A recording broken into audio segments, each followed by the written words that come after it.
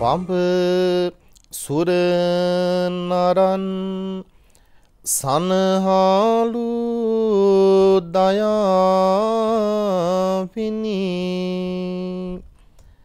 ආලෝකයක් ගන අඳුරට උදාවුනි. දෙවියන් පවා පායුගලත් නොවාමිනි. පායුග වඳින් නිමි සංබුදු රචානිනි තුන් ලොවක් මෙත් සිසිලෙන් සුවපත් කොට වදාළ අංගීරස තථාගත බුදුරජාණන් වහන්සේට මාගේ নমස්කාරය වේවා. කාරුණික පින්නත බුදුබණ අසන්නත් බුදුබණ දරන්නත් මේ මහා පිංසිතිලි උපදවන්නත් පින්නතුනි අපට සාංසාරික පුරුද්දක් තියෙන්න ඕන. සාංසාරික වාසනාවක් තියෙන්න ඕන. එය පැහැදිලි කරගන්නට පුංචි බණ කතාවකට අපි මුලින්ම අපේ සිත යොමු කරමු. පින්නතුනි දවසක් තථාගත බුදුරජාණන් වහන්සේට ඔන්න එක්තරා දායක මහත්මයෙක් දානයකට ආරාධනා කළා. බුදුරජාණන් වහන්සේ මතක් කළා අනේ දායක මහත්මයෝ එදාට ඒ දානයට තථාගතයන්න් වහන්සේට නම් වඩින්නට අවකාශයක් නැහැ. හැබැයි ඔබට ඕනේ පිනක් කරන්නනේ. ඒ පින නොවාඩුව කරගන්නට මම බලගත්ු ස්වාමින් වහන්සේ නමක් සුදුසු ස්වාමින් වහන්සේ නමක් ලබා දෙන්නම් කියලා බුදුරජාණන් වහන්සේ ප්‍රකාශ කළා. දායකයා පින්නතුනි කැමති වුණා. නිසි දවස පැමිණිය. දැන් දානමය පුණ්‍යක්‍රියාව සඳහා දායක මහත්මයා මේ ස්වාමින් වහන්සේ වැඩම කරවාගෙන තමන්ගේ ගම් ප්‍රදේශයට ගමන් කරනවා. පින්නතුනි දඹදිවනි ඉන්දියාවනි ගස් ගල් පර්වත ඇල්ල දොළ ගංගා පහු කරගෙන තමා මේ ගමන නැත්තම් මේ දානය සඳහා වඩින්නට තිබුණේ. ස්වාමින් වහන්සේ බොහෝම සංසුන් ගමනින් වඩිනවා. දායකයා පිටුපසින් පින්නතුනි ගමන් කරනවා. මෙහෙම යන විට මේ ස්වාමින් වහන්සේට හමු වුණා මහා යෝධ ගංගාවක්. ස්වාමින් වහන්සේ පින්නතුනි මොහොතක් ගඟ දිහා බලාගෙන හිටියා. ගඟේ වතුර වැඩි. දාලා තිබිච්ච ඒ දණ්ඩ වගේ ඒ පින්නතුනි මාර්ගයත් යට වෙලා. පෙරදා හොඳටම වැහැලා. ගඟ පිරිලා. මොකද කළේ? විනාඩියක් දෙකක් බලාගෙන හිටියා මෙතෙක් වෙලා බිම බලාගෙන ශාන්ත ගමනින් ආපු අර දානීට වඩින ස්වාමින් වහන්සේ අඩි දෙක තුනක් ආපහු පස්සට ආවා. සිවුර ටිකක් උස්සලා දනහිස දක්වාම ගත්තා. පාත්‍රය වං අතින් ඇඟට තද කරගත්තා. හොඳ ගැම්මක් ගත්තා. පින්නතුනි එක පාරට මේ ස්වාමින් වහන්සේ කිසිම සංවරකමක් නැතිව අර ගඟින් ඩෝංගාලා එහා පැත්තට පැන්නා. දායකයා දැක්කේ ජෙට් එකක් උඩ ගිහිල්ලා කඩාගෙන වැටෙනවා වගේ. දායකයාගේ සිත කඩාගෙන වැටුණා අනේ මෙයාද පින්වන්ත ස්වාමින් වහන්සේ මෙයාද බලගතු ස්වාමින් වහන්සේ දානය පිළිගන්න පින්නතුනි දායකයා ඔළුවේ අත ගහගෙන ගං යුරේ වාඩි වුණා.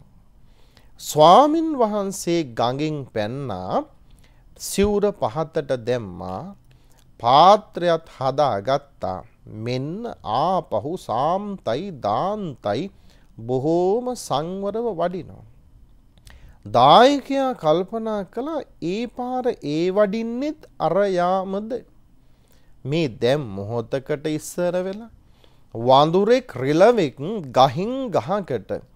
අත්තෙන් අත්තකට පනින්නා වගේ කිසිම සංවරකමක් නැතිව මේ ගඟින් පැන්න. දැන් ආපහු සංවරය. කමක් නේ. හිත හිතා ඉඳලා හරියන්නේ නෑනේ. අන්න ස්වාමින් වහන්සේ සෑහෙන දුරක් දැන් වැඩම කරලා. මේ දායකයා ගඟේ දණ්ඩෙන් යන්න ගිහිලා තෙමිලා නාලම ගොඩ වුණා. දැන් ස්වාමින් වහන්සේ ළඟට කිට්ටු කළා. පසුපසින් යන ගමන් විවිධ විතර්ක සිතිවිලි එනවා. මෙයාට දන් දෙනවාද? මෙයා සංවර කමක් විනයක් නැති කෙනෙක්. එහෙම දෙයක් නම් පෙනෙන්නේ නැහැ. මෙයාට හොඳ දඬුවමක් දෙන්න ඕන. එයාට හොඳට දැනී දඬුවම. මොකද්ද? හිතින් හිතුවා පින්නතුනි ගෙදර හොඳට කජ්ජ බොජ්ජ ලෙය්‍ය පෙය්‍ය කියන ඔය සතරාකාර ආහාර පාන දානි වශයෙන් හදලා තිනවා. ඒවා ඔක්කොම පූජා කරනවා. හැබැයි පිරිකර පරිස්කාරත් හදලා තිනවා. පරිස්කාර කැන්සල්. අද කපා හරිනවා. ඕක ස්වාමීන් වහන්සේට දැනේවි. හොඳ දඬුවමක් වේවි කියලා කිව්වේ නැහැ. සිතින් සිතාගත්තා. සිතින් එහෙම අදහස් කළ දායකයා. තව ටිකක් දුර වඩින විට පින්නතුනි ඒ පාර මෙන්න තව එකක් හම්බ වුණා. ඒක ගඟක් නෙමෙයි. ඒක ඇලක් නොවේ. ඒක පුංචි දිය කානුවක් පින්නතුනි. දොළ කානුවක් වගේ දෙයක්. දායකයාගේ හදවත ආපහු ගැහෙනවා. අනේ මන්දා. ගඟකින් පැනපු කෙනෙක්. එහෙම නැත්තම් සංසාරේ බොහොම ලොන්චම්ප් නැත්තම් දුර පනින්න හුරු වෙච්ච කෙනෙක් වෙන්න ඇති. එහෙම කෙනා ගඟින් පැනපු කෙනා දැන් මේ දොළ කාණුමෙන් මොනවා කරයිද මන් දන්නේ. සිතින් දායකයා ලත වෙනවා. පින්නතුනි බලන්නකෝ. ස්වාමින් වහන්සේ කලබල නෑ ඒ පාර.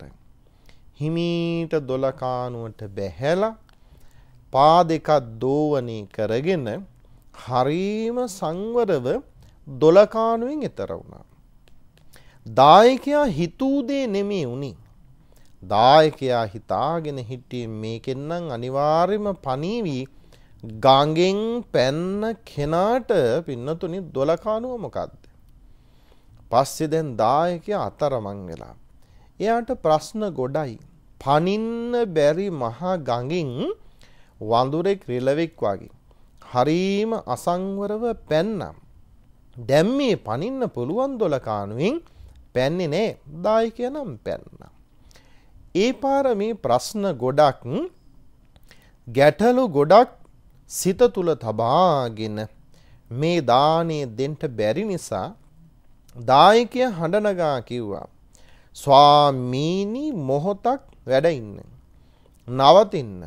දන් දෙන්න ඉස්සර වෙලා ගැටලුවක් තියෙනවා දැනගන්න.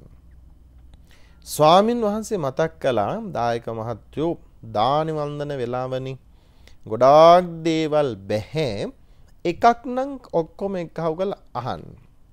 පින්නතුන අපේ සමහර දායකත්තුන්ගේ තියෙනවා පන්සල පැත්තේ ලේසියකට එන්නේ නැහැ. පන්සලේ පින්කමකටවත් උදව් කරන්නේ නැහැ. එහෙව් එකේ කොහේ හරි දානපලකදී හරි ස්වාමීන් වහන්සේලා හමු වුණාම බොරුවට ඉස්සරහට ගිහිල්ලා විරිත්තලා අපේ හාමුදුරනේ පහුගිය දවස්වල පන්සල පැත්තෙත් එන්න බැරි වුණා. මෙන්න මෙහෙමයි මෙහෙත් වැඩ එහෙත් වැඩ ඔය වගේ බොරුවට කතා කරන්න වෙලාව ගන්නි දානි වන්දන වෙලාවෙ වෙන්න පුළුවන්. නමුත් පින්නතුනේ හොඳ බෞද්ධයෙක් වළඳන ස්වාමින් වහන්සේ නමක් එක්ක කතා කරන්නේ. මේ දායකයටත් අර ස්වාමින් වහන්සේ කිව්වා දානේ වළඳන්න කිට්ටුයි ගොඩක් බැහැ එකක් නම් අහන්න. එහෙමයි ස්වාමීනි මෙන්න මගේ ප්‍රශ්නය. ඔබ වහන්සේ දානීට වඩිද්දී අර මහ ගඟින් කිසිම සංවරකමක් නැතිව වඳුරෙක් වගේ බලන්න අසංවරව අර මහ යෝධ ගඟින් පැන්න හිතා ගන්නවත් බෑ. එහෙව් එකේ දොලකානුව බොහොම පුංචි. ඒකිනුත් පනින්න තිබුණානි. ඇයි පැන්නේ නැත්තේ කියලා විමසුවා. ස්වාමින් වහන්සේ පෙන්නතුනි පිළිතුරු දෙනවා. ඇයි දායක මහත්තයෝ එකකින් පැනලා උදේ පාන්දරම අපරාදී පෙරිකර ටික කැන්සල් කරවා ගත්තා. දොලකානුම් පැනනම් පිරිකර විතරක් නෙමි අද දානෙත් කැන්සල් වෙනවා ඉතිං පැනලා කොහොමද කියලා විමසුවා. පෙන්නතුනි බලන්නකු දායකයාව ආයමත් කරකැවෙන්න පටන් ගත්තා. හපු හපු මෙයා මම හිතපුවා ඔක්කෝම දැනගෙනනින්. මගේ සිත දැනගෙනනින්. මගේ සිත කියවලානී කියලා දායකයා හොඳටෝම බය වුණා. ඒ කියන්නේ පින්නතුන් මේ දානයට වඩින ස්වාමින් වහන්සේ තුළ බලගතු ඥාන ශක්ති තියෙනවා. බලන්න පරචිත්ත විජානනක් ඥානෙ. ඒ කියන්නේ අනුන්ගේ සිත් දකින හැකියාව තියෙනවා. මේ ආධ්‍යාත්මික ගමනේදී පෙන්වතුනේ අටුවාවත් පැහැදිලි කරනවා ඔය කියන අභිඥා මහා පහෙන් පංච අභිඥා වලින් පරචිත්ත විඥානයේ විතරක්ම හුදකලා පහළ වෙන එකක් නෙමෙයි. ඒ දක්වා සිත වැඩුවා කියන්නේ අනිත් අභිඥා බලශක්තිත් පහළ වෙන්න ඕන. මොනවද පංචවිද්ද අභිඥා? ඉද්ධිමිද දිබ්බසෝත දිබ්බ චක්කු පරචිත්ත විජානන පුබ්බේ නිවාසානුස්සති ඥාන. දායකයා ගෙදර ගියා කතා කිරීමක් නෑ. එයාගේ සිත දැන් ඉබා ගාති දුහන්නෙත් නෑ. දානයත් පිළිගැන්නවා කැන්සල් කරපු පිරිකරත් ඔක්කෝම පූජා කළා. පින් ලබා ගත්තා. බුදු හාමුදුරු හමු වුණා. බුදුරජාණන් වහන්සේ අහනවා පින්වත දානි කටයුතු හොඳට කෙරුණද.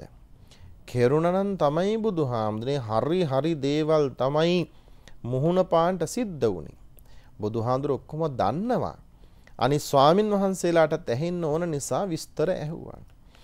පස්සේ බුදුරජාණන් වහන්සේ මතක් කරනවා පින්නතොනි ඔය දානයට වැඩියේ දායක මහත්තයෝ මහා බලගතු ස්වාමින් වහන්සේ නමක්. රහතන් වහන්සේ නමක්. දායකය කිව එක මම පිළිගන්නවා මොකද මම හිතපු දේවල් බොහොම ෂණයකින් උන්වහන්සේ මගේ සිත කියව්වා දැක්ක කියලා. ඊළඟට දායකයා නැවත බුදුහාමුදුරුවන්ගෙන් ප්‍රශ්නයක් අහනවා පින්වත් බුදුරජාණන් වහන්ස උන්වහන්සේ රහතන් වහන්සේ කෙනෙක් නම් අරතරම් අසංවරව අර ගඟින් හරියට වඳුරෙක් රෙලවෙක් පනිනවා වගේ බොහොම අසංවරව පැන්නේයි කියලා විමසුවා. බුදුනුවනින් ඒ ස්වාමින් වහන්සේගේ සංසාර ගමන ගැන බැලුවා. බුදුනුවන දකිනවා. බුදු හාමුදුරුව පහදනවා දායක මහත්තයෝ. ඒ ස්වාමින් වහන්සේ සංසාරේ මේ දීර්ඝ ගමනක් ආවම්. දැන් රහත් වුණ බව ඇත්ත ඒ වුණාට වැඩි වශයෙන් බව 500කට වඩා වඳුරු ආත්ම භාවයක් ලැබපු කෙනෙක්.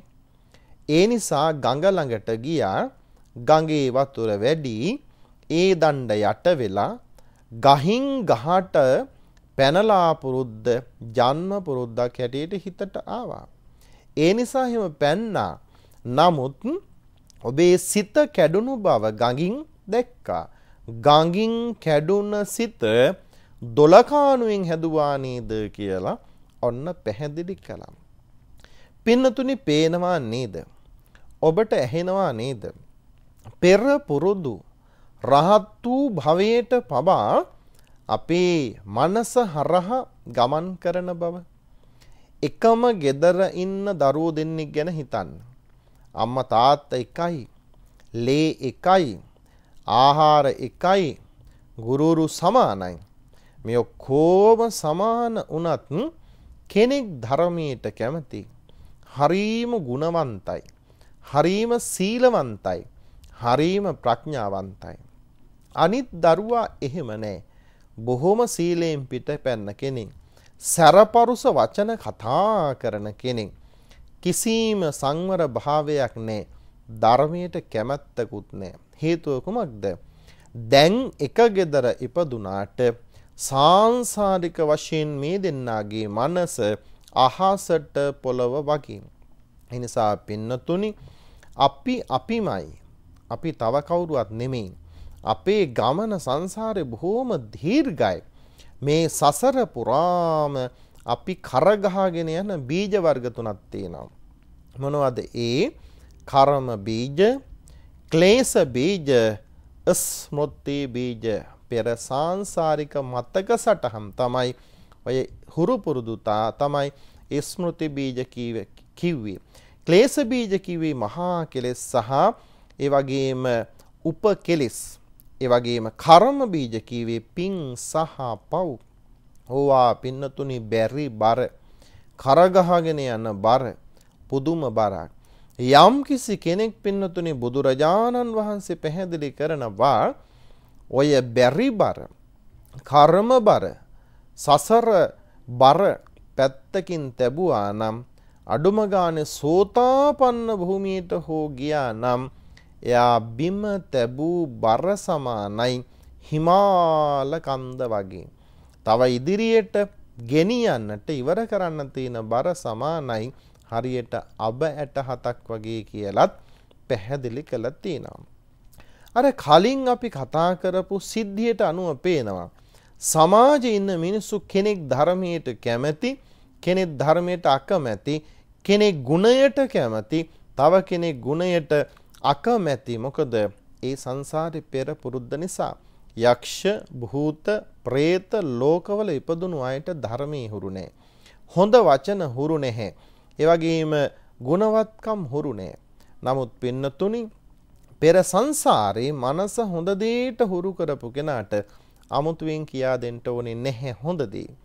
හරියට පින්නතුනි අපි මැරෙනවා කියලා කියන්නේ ඔය ඇඳන් ඉන්න ඇඳුම නරක් වුණහම කිලිටු වුණහම ඒක අතහැරලා වෙන එකක් ඇඳ ගන්නා වගේ.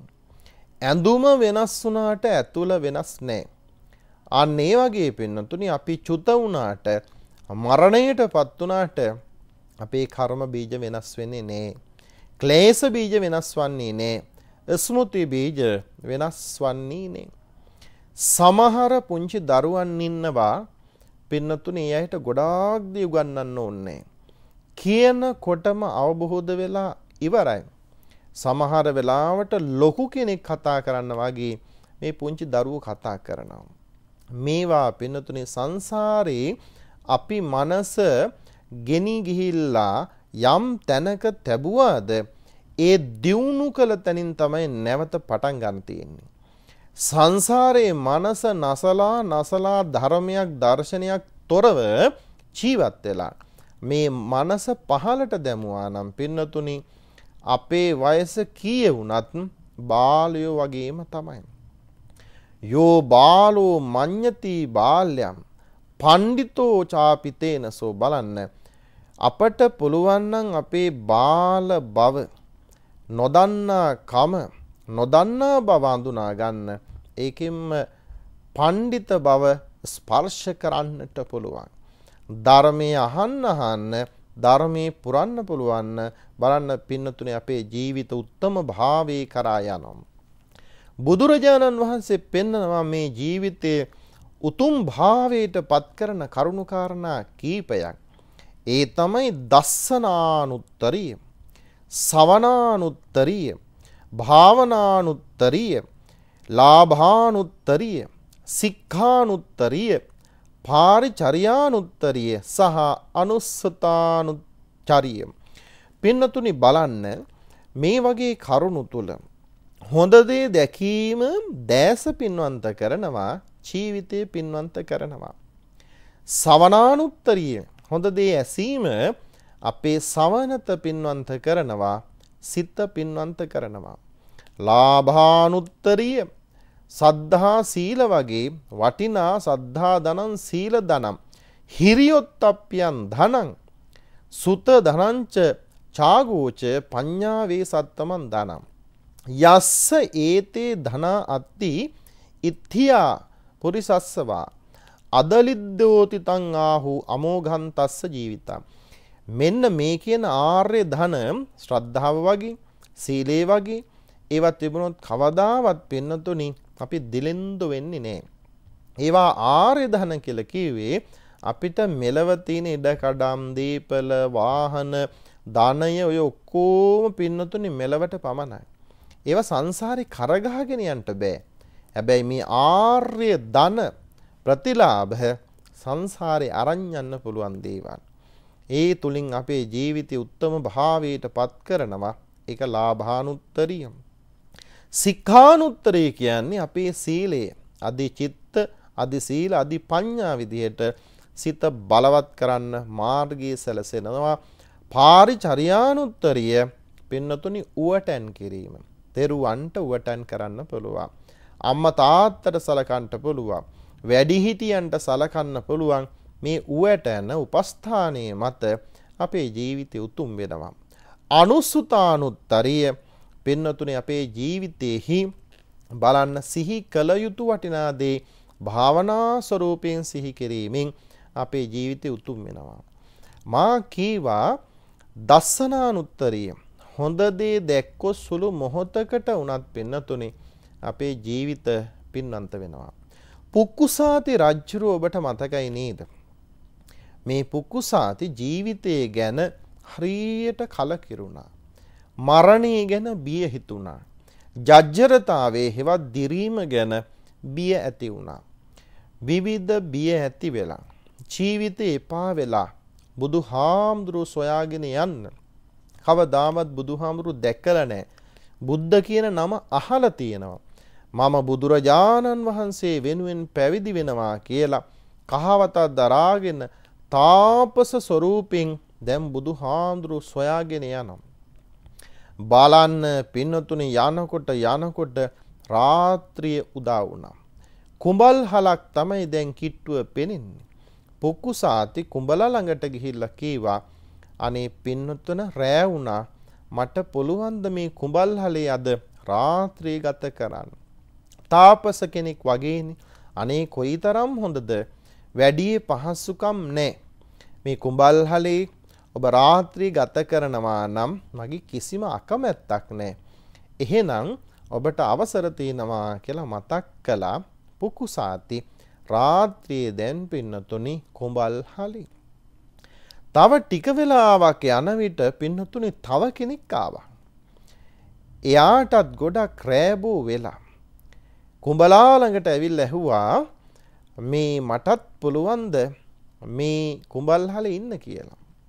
කුඹලා කීවා අනේ පින්වත පින්වත් ස්වාමීනි කුඹල දන්නේ නැහැ කවුද කියලා. මේ තව කෙනෙක් ආවා. එයාට කරදරයක් නැත්තම් ඉඩ දෙන්න පුළුවන් එයාගෙන් පොඩ්ඩක් අහන්න වෙයි. ශාලාවට ගියා. කවුදෝ කෙනෙක් හිටියා. කතා කළා. අවසර දෙනවද කියලා හෙව කමක් නැහැ. අවසර තියෙනවා ශාලාව ඉන්න පුළුවන්. දෙන්නා දෙපැත්තේ මහා කළුවරේ පින්නතුනි දෙවනුව වැඩි තථාගත බුදුරජාණන් වහන්සේ. උන්වහන්සේ ඉන්න ගමන් අහනවා පින්වත ඔබ කොහේද යන්නේ? ඔබ කවුරුන්ද? මම පුක්කුසාති කීවා. ඇයි කොහේද මේ රාත්‍රී යන්නේ?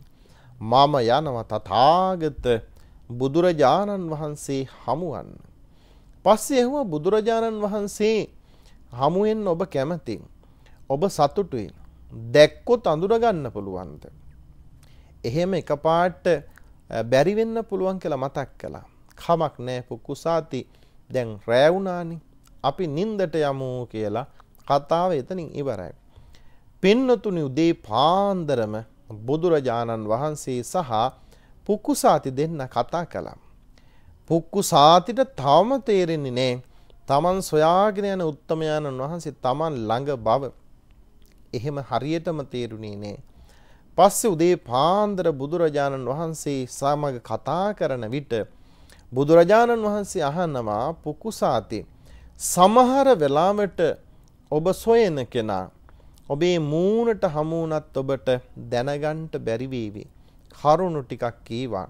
බණ ටිකක් කීවා. එතකොටයි තේරුණේ අනේ තථාගත බුදුරජාණන් වහන්සේ මාවම සොයාගෙන ඇවිල්ලා නේද? මේ දැස කොයිතරම් පින්වන්තද? මගේ සිත පුදුමාකාර සැහැල්ලුවකටපත් වුණා කියලා පින්නතුනි මේ බණ කතාව තුල පෙනෙනවා. මෙන්න මේ තුලයි පුකුසාතිට සැනසීම ලැබුණි. සසර ගමන කෙලවර වුණී ගොඩාක් ගැඹුරු ධර්මයක් අහලා නෙමේ බුදුරජාණන් වහන්සේ දැකීමෙන්ම දස්සන අනුත්තරිය උත්තම භාවයට ගමන් කරන්න වාග්ය ලැබුණා. ඒ නිසා පින්නතුනි අපේ ඇස කන නාසය දිව ශරීරය හරහා විවිධ අරමුණු එනවා තමයි. හැබැයි ඒ අරමුණු අපට පුළුවන් නම් කුසල අරමුණු පමණක් ඉතිරි කරගෙන අකුසල අරමුණු ප්‍රහාණය කරන්න ඒක වටිනවා. අපේ ධර්මයේ කියවෙනවා ලස්සන වචන කීපයක්. පරිඤ්ඤය පහතබ්බ ඒ වගේම භාවේතබ්බ සහ සච්චිකාතබ්බ පරිඤ්ඤය කියන්නේ අරමුණු හොඳට පිරිසිඳ දකින්න කුසලද අකුසලද කියලා. පහතබ්බ කීවේ අනවශ්‍ය අකුසල සිතිවිලි විතරක අයින් කරන්න. භාවේතබ්බ වැඩිය යුතු මනස හොඳට වඩන්න. සච්චිකාතබ්බ ඒ තුළින්මයි අපේ මේ නිස්සාර ගමන සරුසාර ගමනක් කරගෙන නිවන් පසක් කරන්නට පුළුවන්. පින්නතුනි අද මේ බුදු බණ පදයට ඔබ සමනත යොමු කළා සිද්ධ කළ මේ මහපිනෙන් අපි හැමෝටම ශාන්තිය නිවීම වේවා කියලා කවුරුත් අදිෂ්ඨාන කරන්න. කෙලෙස් වෙනසේවා සත්සිත් නිවීවා රෝගදුරුවේවා හැමට යහපත් උදාවේවා ඔබ හැමට සම්මා සම්බුදු සරණයි. Thank you.